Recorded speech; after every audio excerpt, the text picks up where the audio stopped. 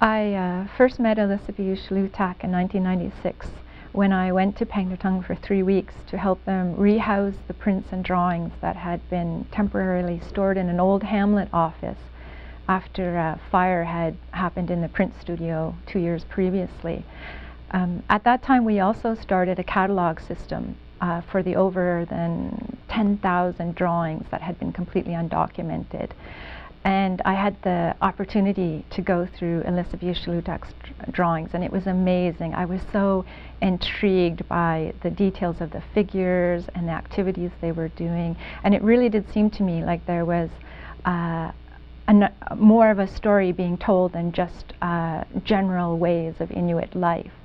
Uh, but when I interviewed her at the time and asked her if these were pictures of her and her family, especially Woman Thinking, uh, which was one of my favorite prints and looks strikingly like Elisapee, she was very hesitant to, um, to acknowledge that these may be specific individuals from her lifetime and her experiences.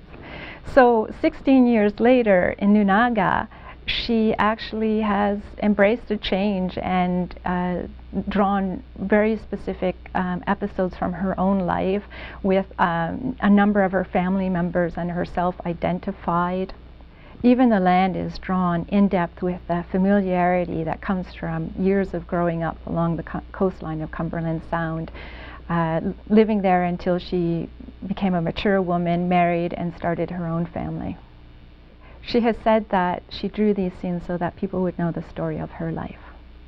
Elisapee Ishulutaq has been uh, one of the most active and celebrated artists in Pangnirtung since the arts and craft program began in the late 1960s.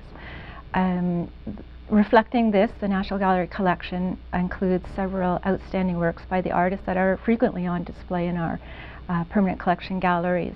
And her work is really important, uh, particularly because she presents a women's perspective of camp life that isn't always apparent um, in the uh, work of the male artists in the sculptures and their prints and drawings and um, also not really well known through the anthropological accounts either. So her works become a really important record of women's activities, their specialized knowledge, and all of the duties and responsibilities they had in order to ensure the safety and care and health and happiness of their families.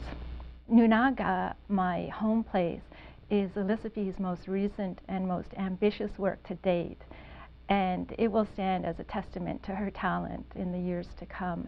It's also a marvelous example of the new directions that are being taken in Inuit art.